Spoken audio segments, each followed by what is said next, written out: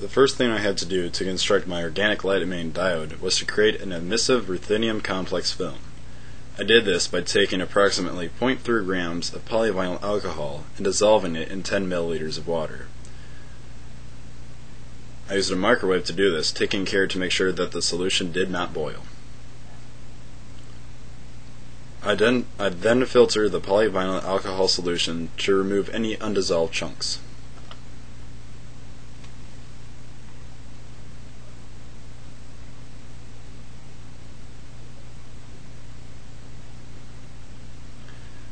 I proceeded to dissolve 0.035 grams of tris bipyridyl ruthenium 2 chloride salt in 3 milliliters of the polyvinyl alcohol solution.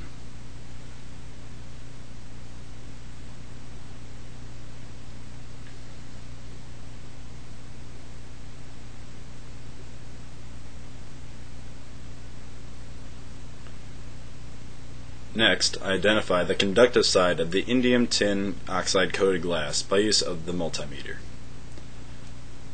The non-conductive side registered no resistance.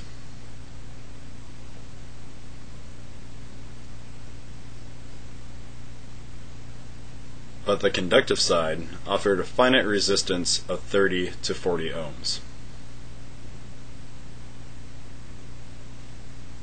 The conductive side of the glass serves as an anode for the reaction.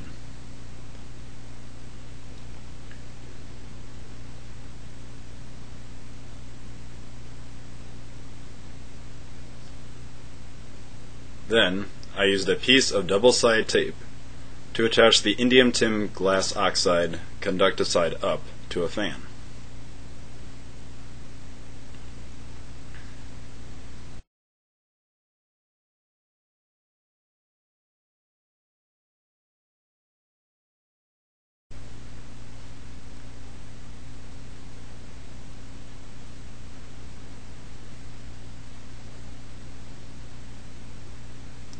Using a cotton applicator, I spread a layer of the ruthenium complex film on the center of the glass, making sure that I allowed for some uncoated space near the edges.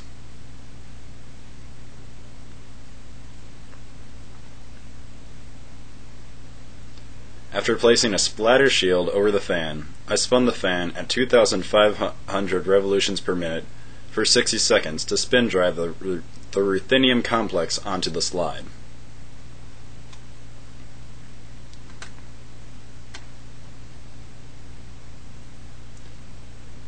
I repeated this process for four coats.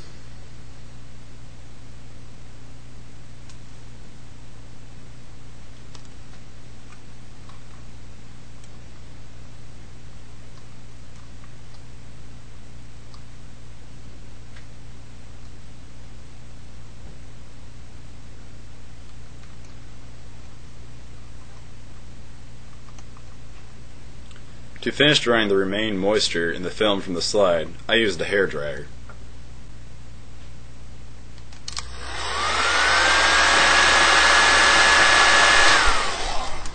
I punched a, a hole of 2 16ths of an inch in diameter in a mask constructed out of duct tape and aluminum foil. I used this mask to apply a gallium indium eutectic cathode.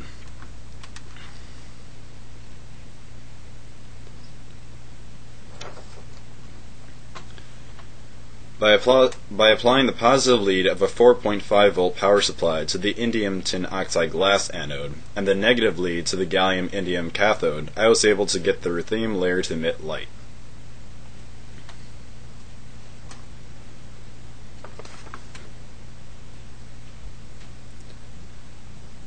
The current caused the oxidation of positive 3 ruthenium ions and the reduction of positive 1 ruthenium ions. The ruthenium 3 positive 3 ions and the ruthenium positive 1 ions drift toward the center of the film until they are adjacent to each other. At that point, they combine to form two positive 2 ruthenium ions. One is in its ground state, and the other is in an excited state. The latter emits light as it returns to its stereoscopic ground state.